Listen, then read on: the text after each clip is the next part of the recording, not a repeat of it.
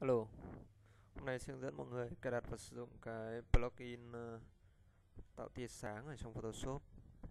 Thì các bạn sẽ tải bộ cài về sau đó giải nén ra thì mình sẽ được một cái file này. Các bạn sẽ tìm đến đúng cái phiên bản, mình sẽ tìm đến cái phiên bản ờ, 64 bit. Chuột phải chọn màu răn.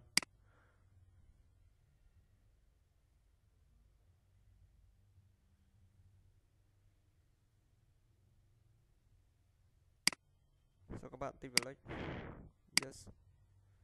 Lựa chọn cái uh, phiên bản uh, Live Factory của Photoshop. Sau đó bây giờ uh, mình sẽ phải điền series vào đây. Thì các bạn back quay trở lại nó có một cái mục. Thì mình chọn đến một cái cây của cái thằng uh, Photoshop. Đây chính cái thằng cloud live Factory Photoshop này. Thì các bạn sẽ copy cái cây này chuột phải copy. Sau đó, các bạn sẽ paste vào đây và tích vào submit. Ok. Như vậy là các bạn đã nhập cây xong, bây giờ các bạn tích vào lệnh. Giờ kéo xuống lựa chọn đúng cái phiên bản của mình. Ví dụ mình đang muốn sử dụng hiệu ứng trên cái After Suite của Photoshop CC của mình là bản CC mà. CC 2015 thì các bạn tích kiểm vào đây. Tích vào lệch. Sau cài đặt. Và finish à, bây giờ các bạn sẽ phải có một cái thao tác như sau. Đây là vào trong ổ C có một program file. Ờ, một Adobe. À, có cái phần Adobe Photoshop CC 64 bit này. Bạn copy cái mục plugin này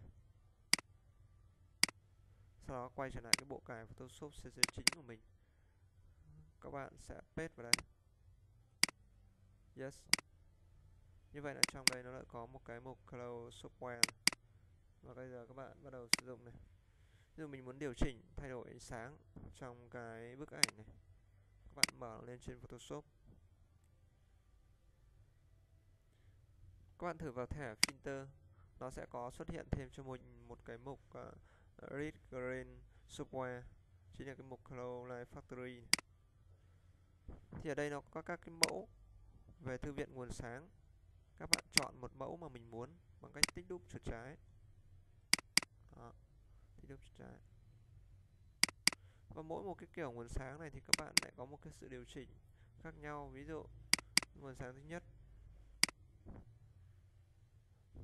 các bạn chú ý ở cái mục tin layer các bạn có thể để background tức là nó hòa nhập màu vào cái phần à, nền ảnh của mình và di chuyển đến vùng màu nào nó sẽ tự động thay đổi ngẫu nhiên cho phù hợp. Hòa trộn vào. À, tương tự ở đây cũng vậy. Background chẳng hạn. Tin layer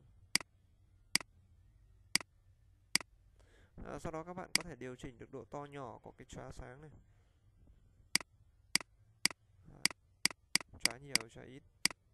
Hay độ to nhỏ của cái quầng ngoài.